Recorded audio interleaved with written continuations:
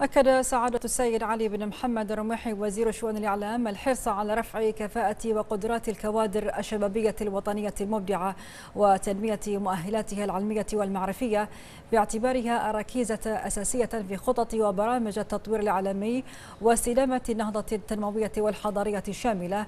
في العهد الزاهر لصاحب الجلالة الملك حمد بن عيسى الخليفة عهد البلاد المفدى.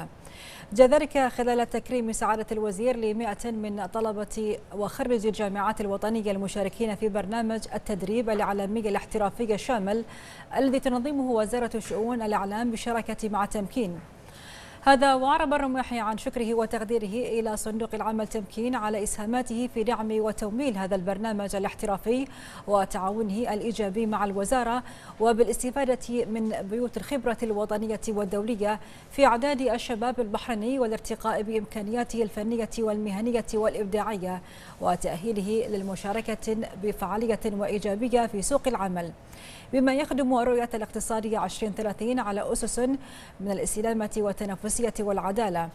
وأوضح أن هذا البرنامج التدريبي يأتي في إطار خطة منهجية للارتقاء بكفاءة الموارد البشرية الوطنية والنهوض بدور الإعلام الوطني مهنيا واحترافيا وفق أعلى معايير الجودة والتنافسية بما يواكب أحدث المستجدات التقنية والإنجازات الرائدة المتواصلة في ظل النهج الإصلاحي والتنموي لجلالة الملك المفدى وحكومته الرشيدة. وأبدى سعادة وزير شؤون الإعلام إعجابه بالتقدم اللافت في مستويات الطلبة والخريجين المشاركين في هذا البرنامج التدريبي وما عرضوه من مشاريع متميزة ومبتكرة في مجال الإنتاج التلفزيوني والفني.